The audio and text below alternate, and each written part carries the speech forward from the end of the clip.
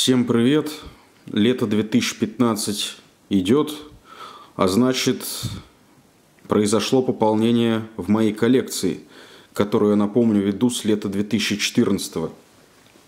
Итак, снова оправа бренда Leps Optica. Ну, сразу начну так.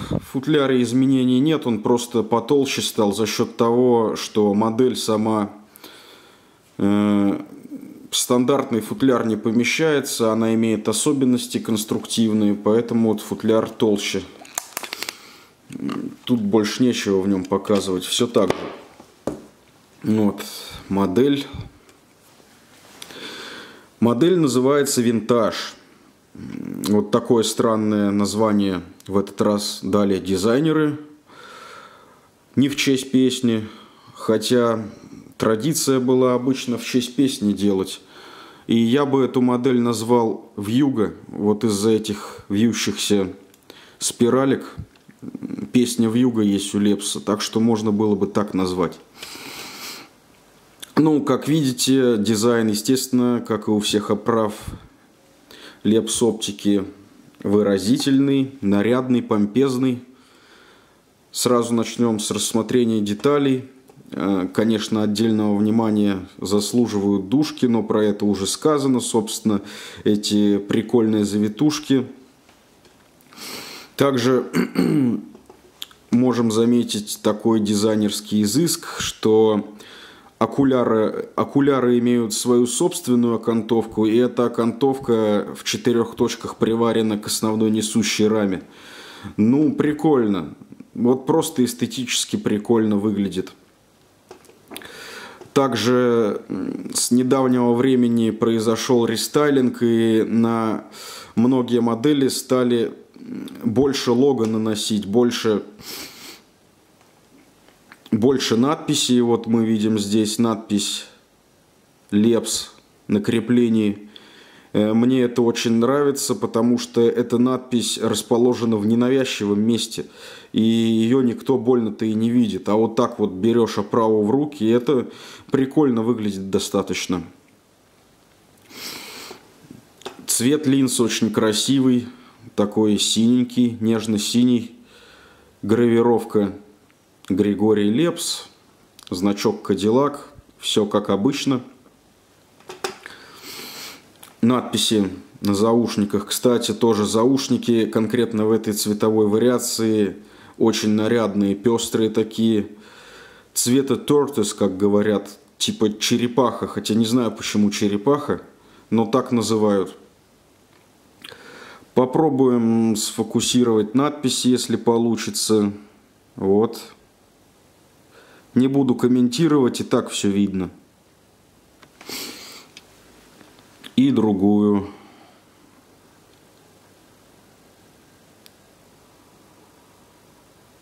Вот вставочка появилась тоже. Золотистая.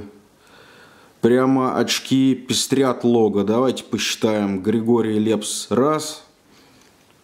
Два. Три. Четыре. Пять. Пять мест, где в очках присутствует фамилия Лепс. Вот как. Да еще плюс футляр, плюс значок внутри и хотя, может быть, это перебор, но мне это нравится. А теперь займемся критикой. Хотелось бы поругать Лепс-оптику, но ничего не поделаешь, за то, что качество продукции начало падать. Оно и тогда было не идеальным, если честно. Да, линзы прекрасные, в них не устают глаза. Четкость видимости просто офигенская. Покрытие краской и лаком это все, все, все, все здорово. Но, во-первых, что в чем недостаток? Э, очень много брака, проблемы с геометрией и с симметрией. Например, у одной модели у меня один окуляр загнут более в ту сторону, приварен неправильно. И, э, ну, видно, что асимметрия присутствует. Вот даже здесь проблемы с геометрией, опять же. Вот идет несущая рама, вот идет окуляр. Здесь все сделано ровно выполнено. Смотрим сюда. Здесь, как видим, Ну, в общем, без комментариев, видно. Это здесь косяк, скажем так, невидимый, абсолютно не критичный, но, извините меня, за 11-15 тысяч я хочу получить оправу с, точи, с, расчетами с точностью до микрона, чтобы они были идеальны со всех сторон. Э, кстати говоря, я забыл сказать в начале, что это опять оправа копия очков производителя Жан-Поль Готье. И хотелось бы обратиться к Лепс Оптике. Вот вы посмотрите, как сделаны Готье, с какой они аккуратностью сделаны.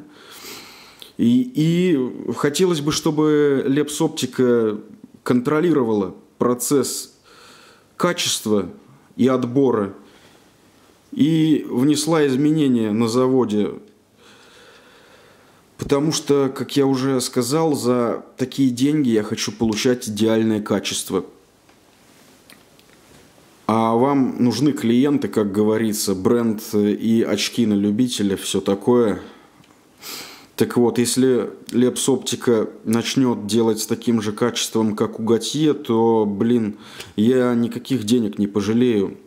Ну, 11-15 тысяч. Я считаю, что за такие деньги за которые сейчас продаются эти очки, можно сделать гораздо лучше.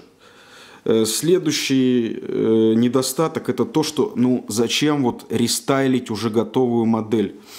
Это касается того, что, например, вот в этой модели и в модели лабиринт вот эта часть она как бы подчеркивает брови. Мне при, приходится постоянно гнуть. При, вот купил, подогнул. То есть я вот так вот оправу согнул, да. Э, до этого очень сильно вот эта часть подчеркивала брови.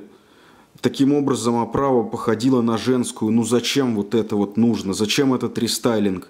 Готье такую модель не выпускает уже лет 20-25, наверное. В 80-х это все выпускалось. Я не знаю, может вы таким образом авторские права соблюдаете, но я считаю, что, блин, разберитесь там, короче, и посмотрите, как сделаны настоящие готье. У них, наоборот, загиб в другую сторону идет и более равномерный.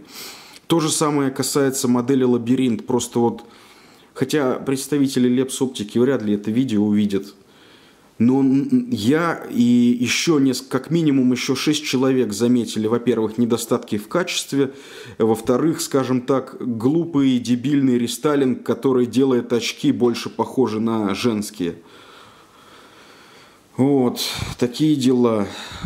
А в целом вот э, к покраске, к линзам, к дизайну в общем плане претензий нет. Только вот к геометрии и э, к копированию. Если уж копируете Готье и позиционируете их как очки, как у Григория Лепса, то все должно быть сделано так, как это было сделано изначально.